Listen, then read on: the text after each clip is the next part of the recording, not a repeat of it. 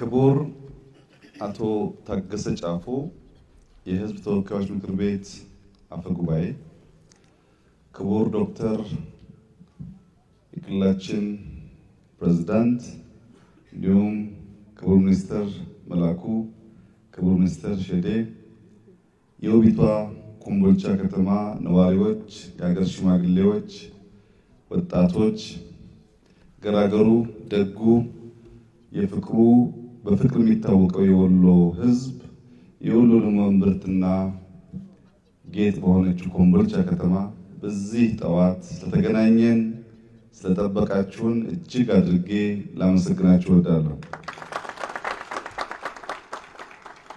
ከሌላ አካባቢ እኔን ተከትላችሁ የመጣችሁ የስራ አመራሮች ኮምቦልቻ አርሂቡ ትላችኋለች።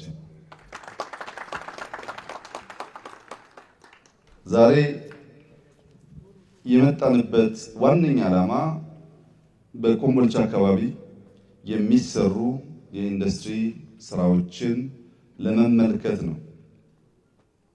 ኮምቦልቻ የሰላምን ጣዕም የምታውቅ የጦርነትን አስከፊነት ያየች በሰላምና ጦርነት መካከል ያለውን ልዩነት እንደ ቀንና ጨለማ የምትገነዘብ ለብዙዎች በተግባር ማስተማር የምትችል ከተማ ስለሆነች ሁለቱንም ለማየት እድል ስላላት አሁን በሰላሙ የሚሰራውን ስራና ሰላሙን በማስጠበቅ ረገድ ያላትን ሚና ለማየት ነው የመጣ ነው።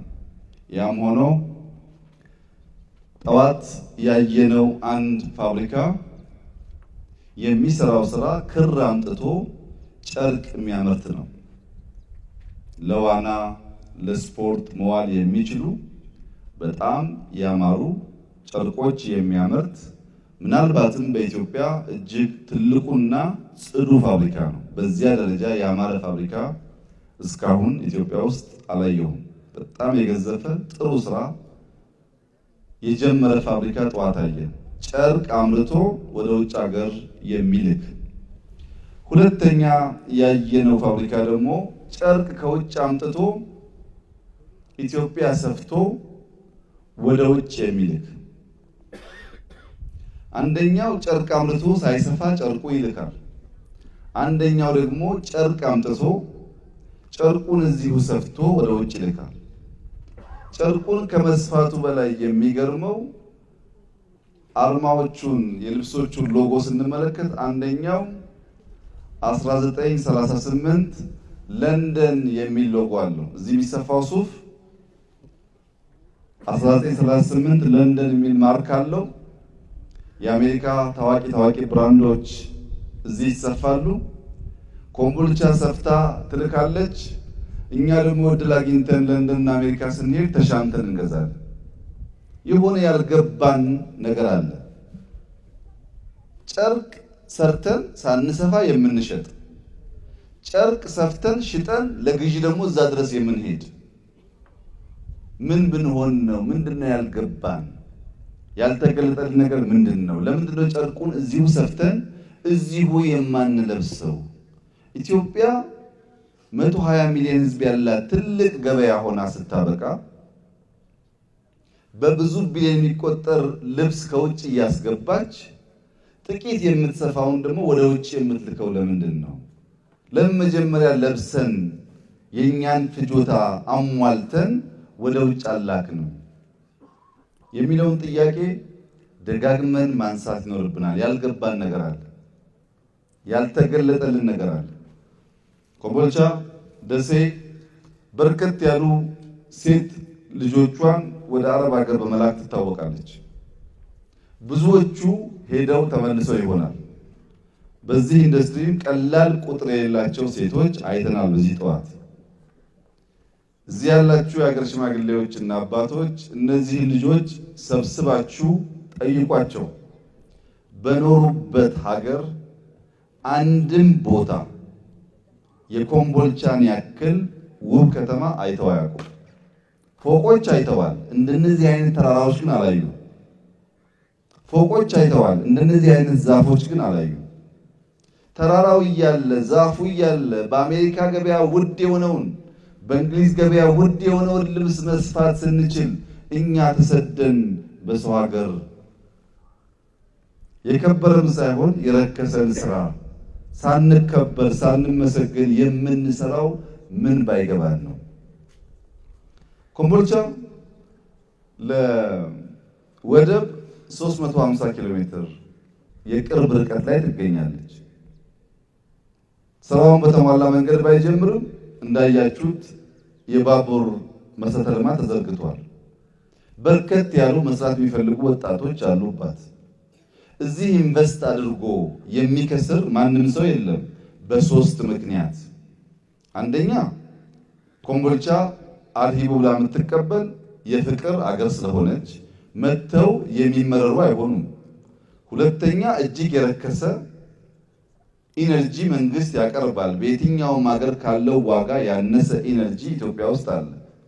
ሶስተኛ በርከት ያሉ ወጣቶች ያሉን ስለሆነና ብዙም ሳናስከፍል በደንብ ስለምንሰራ እኛ ጋር መጥቶ ኢንቨስት አድርጎ የሚከስር ሰው አይኖርም።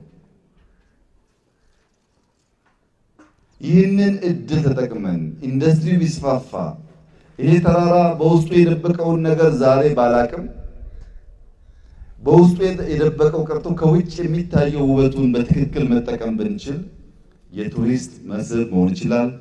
በርካታ ኢንቨስተሮች መሳብ ይችላል። ልጆቻችን የሚሰደዱ ሳይሆን የሚመጣውን የሚቀበሉ እንዲሆኑ ያስችላል። ይህ ግን እንዲሁ በከንቱ አይሆንም።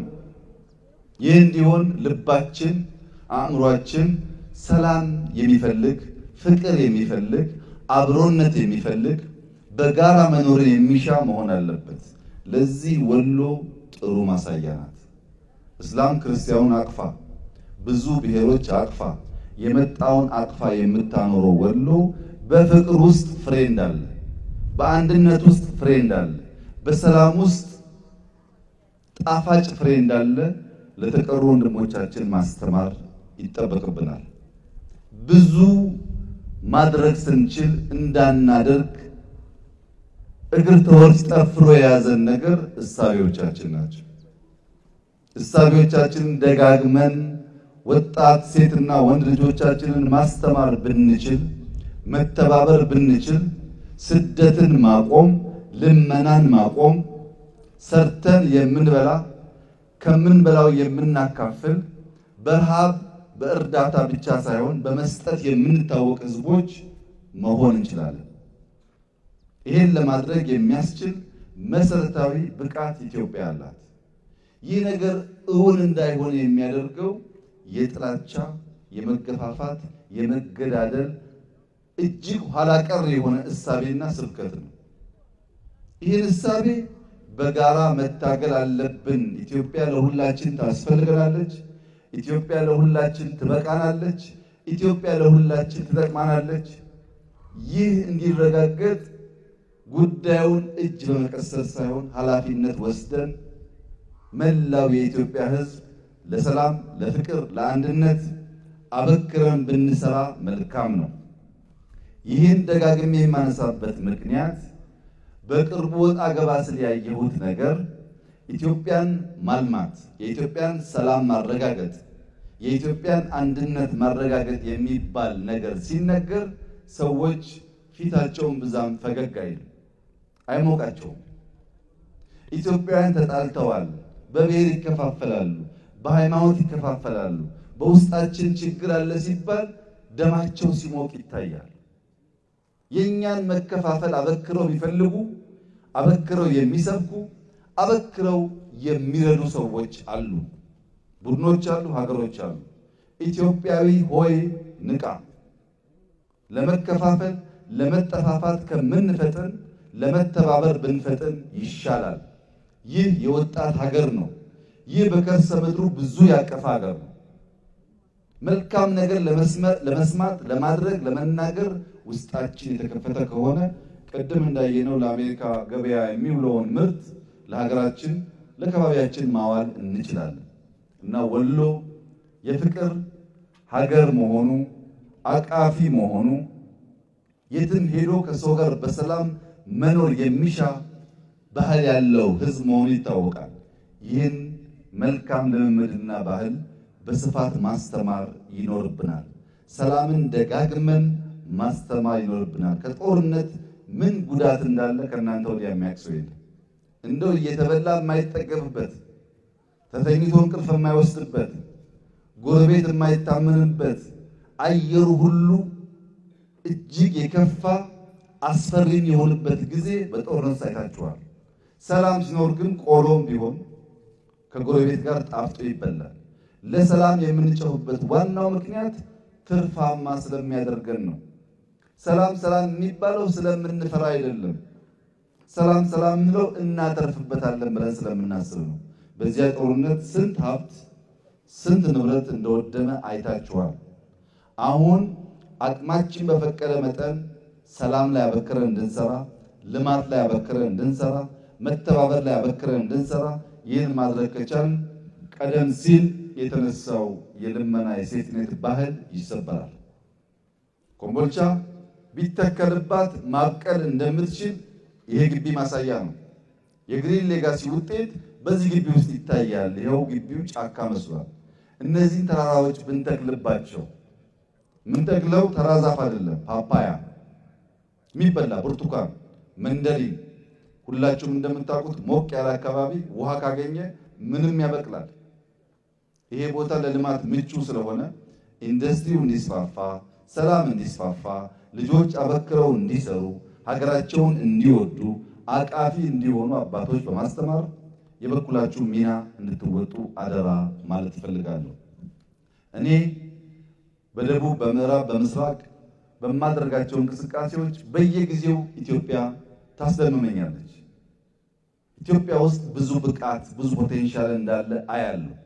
ያንን potential ብዙዎች እንዲያዩ ማድረግ፣ ያንን potential ብዙዎች ተገንዝበው እንዲጠቀሙበት ማድረግ ቀዳሚ ስራዬ እንደሆነ ማምናለሁ።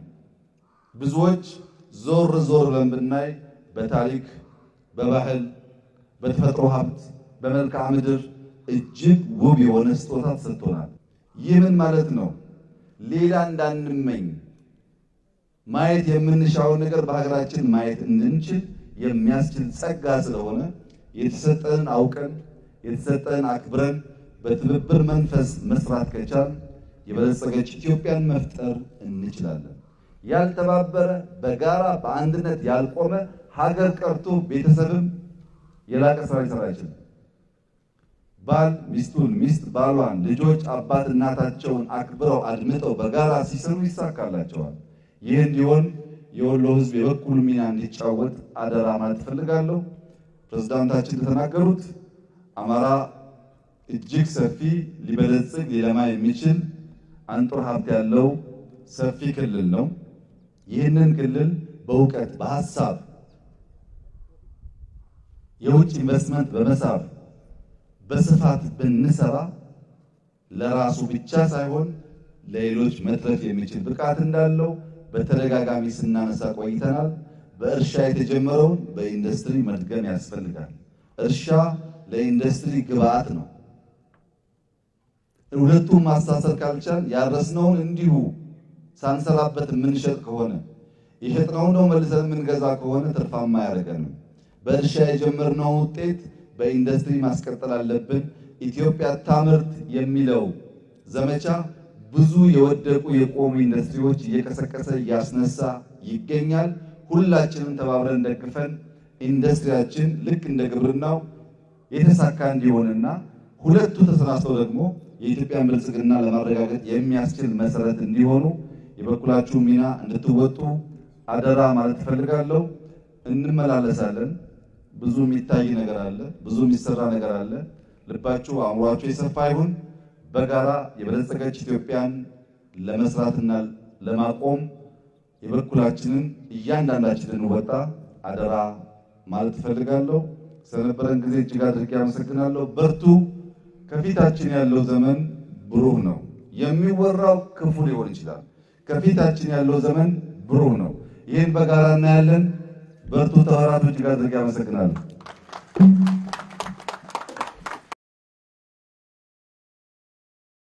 ሰላም ጤና ይስጥልን። የተወደዳችሁ የአዶሊስ ቤተሰቦች በያላችሁበት የዓለም ዳርቻ ሰላማችሁ የበዛ ይሁን። ውድ ቤተሰቦቻችን channel ኣችንን like፣ share እንዲሁም subscribe በማድረግ ቤተሰብ መሆን ትችላላችሁ። ቻናላችን እንደሚታወቀው ወቅታዊ ታማኒና ሀገራዊ ይዘት ያላቸው መረጃዎችን በቀዳሚነትና በፍጥነት ወደ እናንተ አድማጮቹ ያደርሳል። እኛም በቻናላችን የሚቀርቡትን አዳዲስ መረጃዎች እንዲደርሱ channel ኣችንን subscribe በማድረግ የመረጃችን ተካፋይ ትሆኑ ዘንድ ግብዣችን ነው። ለዛሬ አዳዲስ ያልተሰሙ መረጃዎችን አሰናድተናል። እነሱን እየነገርናችሁ ከእናንተ ጋር ቆይታ እናደርጋለን። እስከ መረጃው ፍጻሜ ከኛ ጋር ከሆናችሁ እነዚህ መረጃዎች ታገኛላችሁ። ውድ ቤተሰቦቻችን ቀዳሚ ወዳደረግነው መረጃ እናልፋለን። አሸባሪውን ሸኔ ታጣቂ ኃይል የመደምሰስ ዘመቻ አካል በሆነውና በደቡብ ኦሮሚያና አዋሳኝ አካባቢዎች የተሰማራው ጥምር ጦር በሸኔ ይዞታ ስር የነበሩ በርካታ ቀበሌዎችን ማስለቀቅ መቻሉን የኢፌዴሪ መከላከያ ሰራዊት አስታወቀ።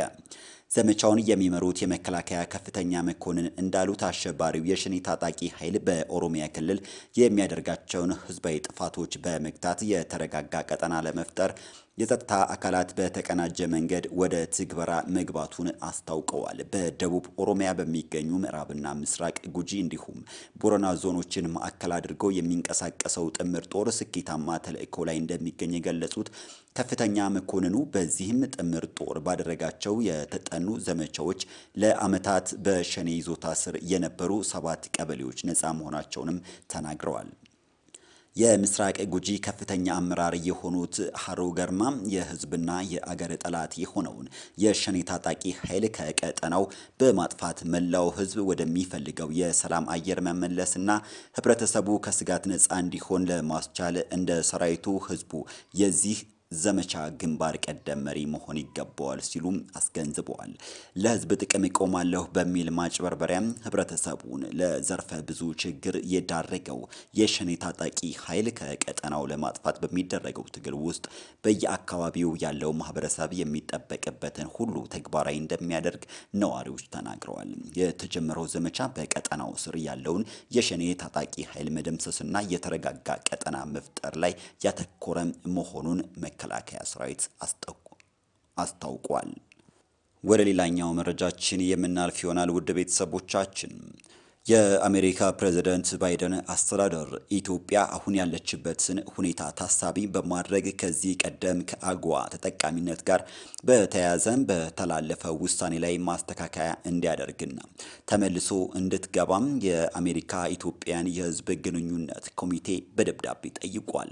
ኮሚቴው በደብዳቤው ፕሬዝደንት ባይደንና አስተዳደራቸው የአሜሪካ ኢትዮጵያንን የ110 ሚሊዮን ኢትዮጵያንን የአሜሪካ የንግድ ድርጅቶችና የኮንግረስ አባላትን ድምፅ ችላ ማለታቸው እጅግ በጣም አሳዝኖናልም ብለዋል። ኢትዮጵያ ከአገዋ ዝርዝር ውስጥ ማስወጣት እስካሁን ከ200 ሺህ በላይ ኢትዮጵያን የስራ ዕድል እንዳሳጣ በረጅም ጊዜ ተጽዕኖዎች ተጨማሪ በሺ የሚቆጠሩ ሰዎች ለኑሯቸው መሰረት የሆነውን የስራ ዕድል ሊያጡ እንደሚችሉ እንደሚጠበቅም ገልጸዋል። ይህ ማዕቀብ በግለሰቦች ላይ ያነጣጠረ አይደለም፣ ሰፊውን የኢትዮጵያን ሕዝብ የሚጎዳ ነው ያለው መግለጫው ከስራ ገበታቸው የወጡት አብዛኞቹ ከጨርቃ ጨርቅ ኢንዱስትሪ ውስጥ የሚሰሩ ሴት ሰራተኞች ዝቅተኛ ገቢ ያላቸው መሆናቸውን በመግለጽ ስራ ማጣታቸውንም ለመላው ቤተሰብና ማህበረሰብ ድህነትና እጦት ማስከተሉንም ጠቁመዋል። የኢትዮጵያ ሕዝብ የተጠየቀውን አድርጓል። መንግስት ታሪካዊ የሰላም ስምምነቱን አረጋግጧል። እርዳታ በከፍተኛ ደረጃ ጨምሯል። አስፈላጊ አገልግሎቶች እየተመለሱ ነው። የተባበሩት መንግስታት ድርጅት የሰብአዊ መብት ጥሰትን የሚያጣራ ኮሚሽን ባለፈው ዓመት አዲስ አበባን ጎብኝተዋል ሲል ደብዳቤው አብራርቷል። ኢትዮጵያን ከአገዋ ለተጨማሪ አንድ ዓመት አስወጥቶ መቆየት ሙሉ በሙሉ ፋይዳ የለውም ያለው ኮሚቴው የአሜሪካ መንግስት በምትኩ አገሪቱን ሰላም ለማስፈን ለመገንባትና ዲሞክራሲያዊነቷን ለማስጠበቅ እየሰራች ባለችበት ወቅት ድጋፍ ማድረግ እንዳለበትም አሳስቧል። ፕሬዚደንት ባይደን ውሳኔውን እንደገና እንዲያጤኑትና ኢትዮጵያ ወደ አግዋ ዳግም እንድትመለስ እንዲያደርጉ የአሜሪካ ኢትዮጵያን የሕዝብ ግንኙነት ኮሚቴ በደብዳቤው ጠይቋል። በሌላኛው መረጃችን የአገልግሎት ዘመናቸውን ያጠናቀቁ አምባሳደሮቻችንን ኢትዮጵያ ታመሰግናቸዋለች ሲሉ ጠቅላይ ሚኒስትር ዶክተር አብይ አህመድ ገለጹ። ሀገርን ማገልገል እድል፣ ተልእኮን መፈጸም ደግሞ ድል ነው ያሉት ጠቅላይ ሚኒስትር ዶክተር አብይ አህመድ የአገልግሎት ዘመናቸውን ያጠናቀቁ አምባሳደሮቻችንን ኢትዮጵያ ታመሰግናቸዋለችም ብለዋል። የኢፌዴሪ ጠቅላይ ሚኒስትር ዶክተር አብይ አህመድ በይፋዊ የማህበራዊ ትስስር ገጻቸው ባስተላለፉት መልእክት ሀገርን ማገልገል እድል፣ ተልዕኮ መፈጸም ደግሞ ድል ነው በማለት ገልጸዋል። ጠቅላይ ሚኒስትሩ አክለውም እኔም በዓለም መድረክ ላይ ሳይቆጠቡ ላሳዩት ውክልና ምስጋኔን አቀርባለሁ ሲሉም ገልጸዋል። በሌላኛው መረጃችን ደግሞ የኢፌዴሪ ፍትህ ሚኒስቴር በሽግግር ፍትህ ዙሪያ ያሉ የፖሊሲ አማራጮችን ለውይይት መነሻ እንዲሆኑ የቀረቡበትን የፖሊሲ ማዕቀፍ አማራጮች ሰነድ በዛሬው ዕለት ይፋ አድርጓል። በዚህም ተጠያቂ የሚሆኑ አጥፊዎች በሚለዩበት መንገድ ላይ ሁለት አማራጮች የቀረቡ ሲሆን የመጀመሪያው አማራጭ በወንጀል ክስ ሂደቱ ዋና ጥፋት ፈጻሚዎችን ትዕዛዝ እየሰጡ ያቀዱ የመሩና ከፍተኛ ኃላፊነት ኖሮባቸው ኃላፊነታቸውን ባለመወጣታቸው ምክንያት ጉዳት እንዲደርስ ያደረጉ ግለሰቦች ላይ ብቻ ትኩረት አድርገው ክስ እንዲመሰረት ማድረግ የሚል ነው።